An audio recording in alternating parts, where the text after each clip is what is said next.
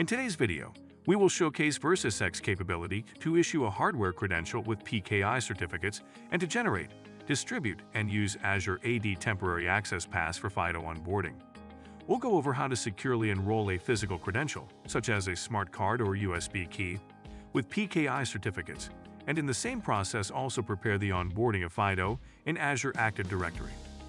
To begin, the operator inserts their physical credential, such as a smart card or USB key, and authenticates using their PIN. Next, we'll issue a blank credential for a user complete with a certificate TAP and PIN policy.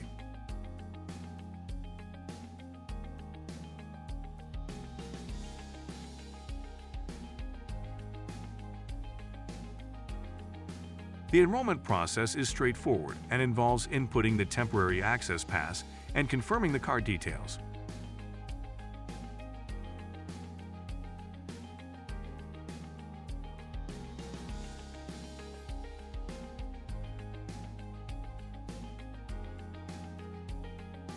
The temporary access pass is used to grant temporary access to the user, allowing them to log into Azure Active Directory and register a FIDO credential.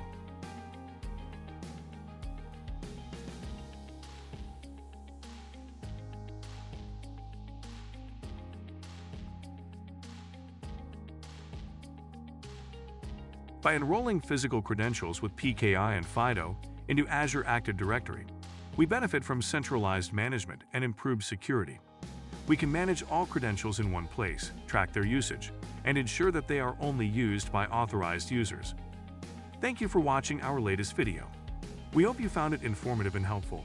For more information on credential management systems, please visit our website